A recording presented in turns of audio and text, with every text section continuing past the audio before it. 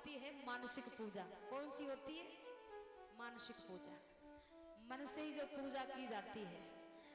मानसिक पूजा का, मानसिक पुण्य का फल मिलेगा। कलयुग में विशेषता है।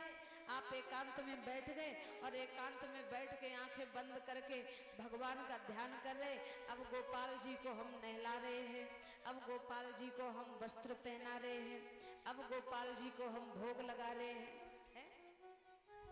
मन में केवल सोचते रहो, बस सारी पूजा का पुण्य फल आपको मिल जाएगा। ये कलयुग की विशेषता है। कलयुग में मनसा पाप नहीं लगेगा, मनसा पुण्य सबको मिलेगा। ये कलयुग की विशेषता राजा परीक्षित ने सोचा, वाह भाई, वाह, इसमें गुण तो बहुत सुंदर है। और बताओ तुझमें कोई गुण है? कलयुग ने कहा, महाराज, और भी हमें गुण है। और क्या है? जरा देखो महाराज, सतयुग में भगवान को पाने के लिए लोग हज़ारों वर्षों की समाधि लगाते थे, और फिर भी गारंटी नहीं कि भगवान मिल जाएँगे। त्रेता में मनो घी फूक डाला यज्ञ में, फिर भी गारंटी नहीं भगवान मिल जाएँगे। ऋषि मुनियों ने शरीर को तपा तपा के मिट्टी बना दिया, भगवान नहीं मिले। जरा कलयुग की विशेषता देखिए। द्वापर में खूब नाम संकीर्तन किया, फिर भी भगवान नहीं मिले। अब कलियुग की विशेषता क्या है? ये तुलसी कृत रामायण की चौपाई है। सभी वक्त बोले, कलियुग के बल नाम सुमेद सुमिर सुमिर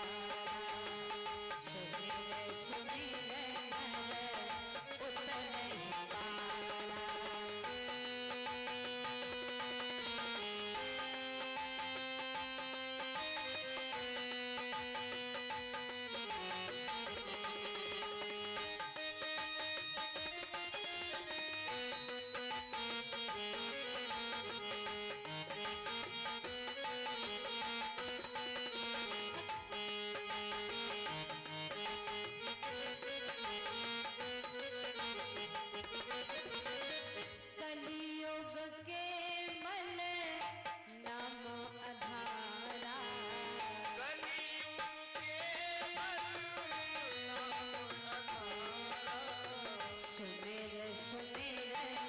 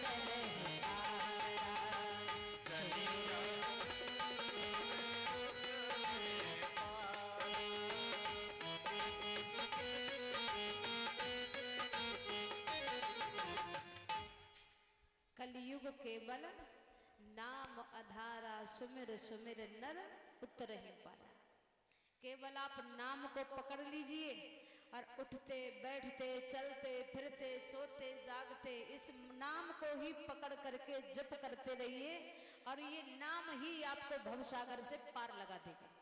तपस्या की ज़रूरत नहीं है। केवल बैठ गई, भजन करो, इसकी ज़रूरत नहीं है। चाहे जैसे करते रहो, ये नाम ही आपको पार लगा देगा। ये कलयुग की विशेषता है। सुमिर सुमिर, नर उतर नहीं पारा राजा परीक्षित ने सोचा वाह भाई वाह इसमें गुण तो बहुत अच्छा है है? त्रेता में, सतयुग में भगवान को पाने के लिए शरीर को तपा तपा के दीमक लग जाते थे, शरीर में भगवान नहीं मिलते थे। कलयुग की क्या सुंदर विशेषता थोड़ा सा सुमिरन भजन कर लो, भगवान मिल जाते हैं, मानसिक पुण्य मिलता है, पाप नहीं लगता है।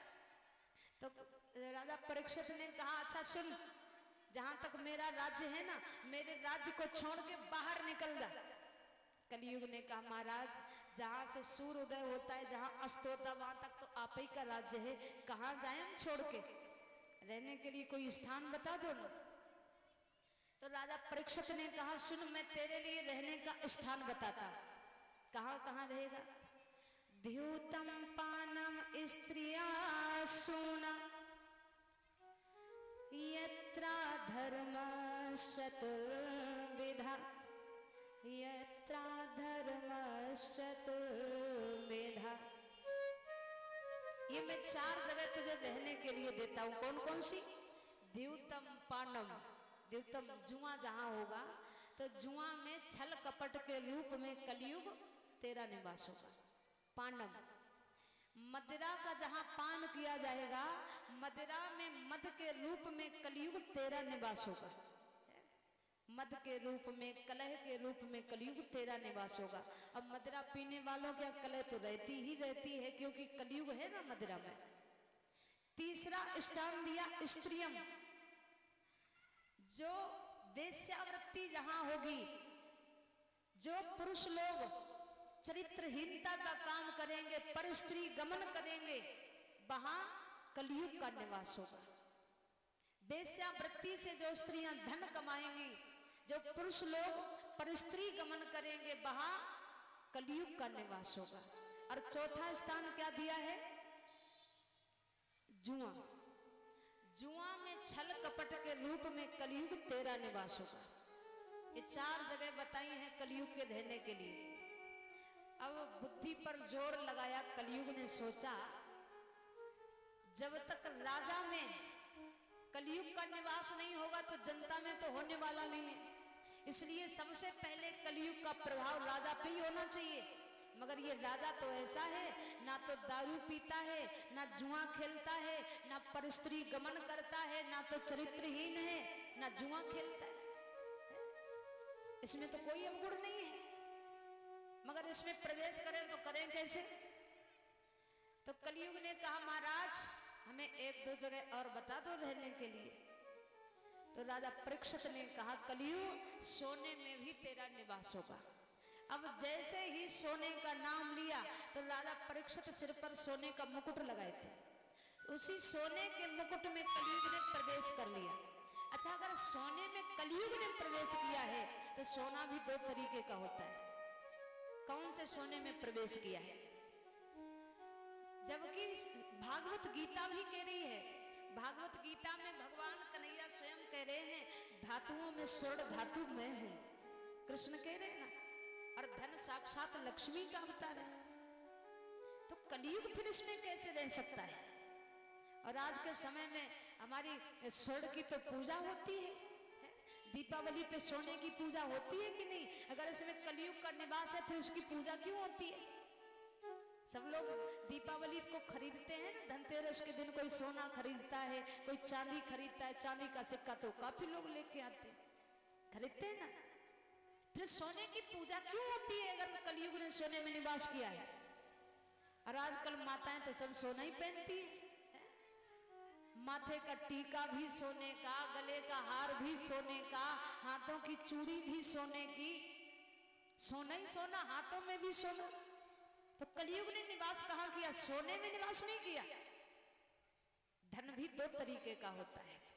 अधर्म से कमाया हुआ घर में जो सोना आएगा, उसमें कलयुग का निवास होगा। और उस सोने में निवास जब कलयुग का होगा तो उस व्यक्ति को नींद नहीं आती है रात को। आप देख लो ना, नज़र उठा के जरा देख लो, जो चोरी करते हैं, जो डकैती डालते हैं, उनको रात को चैन की नींद नहीं आती है। आती है? नहीं आती है। वो इंतज़ार करते हैं। बेचारे चोरी छुपके डुक छुपके रहते हैं कहीं ऐसा ना हो, पुलिस वाले की गोली हमारे सीने को चीर के पार ना कर जाए। चैन की नींद आती है? नहीं आती, क्यों? अधर्म से सोना इकट्ठा किया है ना? और जो धर्म से धन इकट्ठा करते हैं, सोना इकट्ठा करते उन्हें किसी का भय होता है? बोलो भाई, होता है? नहीं भय होता है। चाहे वो खेत में सो जाए, चाहे वो रोड के किनारे सो जाए, चाहे जहाँ चैन से पढ़ करके सो जाते, कोई टेंशन नहीं, है? और चैन की नींद लेते हैं तो किसमें निवास किया है? अधर्म के सोने में। ये जो मुकुट जो आया है, ये मुकुट कहाँ से आया है? ध्यान से सुनिए, कहाँ से आया है? जो कंस के ससुर थे ना, जरासंध। तो जरासंध का वध किया था भीम जी ने। किसने किया था? भीम ने। तो हिंसा के द्वारा ये मुकुट आया था। वही मुकुट पहनाया गया था राजा परीक्षित को।